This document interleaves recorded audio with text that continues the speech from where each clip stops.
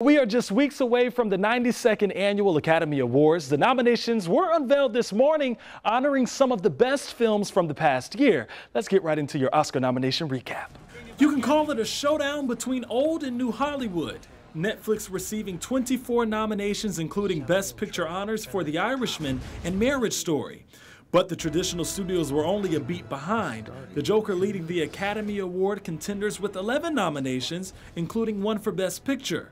Plus, the visually dazzling World War I epic 1917 and Quentin Tarantino's Once Upon a Time in Hollywood each rack up 10 nominations. For Best Actor, Joaquin Phoenix receives a nomination for his mentally ill outcast Joker, and Leonardo DiCaprio, who plays a washed up actor in Once Upon a Time in Hollywood, receives a nomination. Scarlett Johansson receives her first Oscar nod for Best Actress in Marriage Story.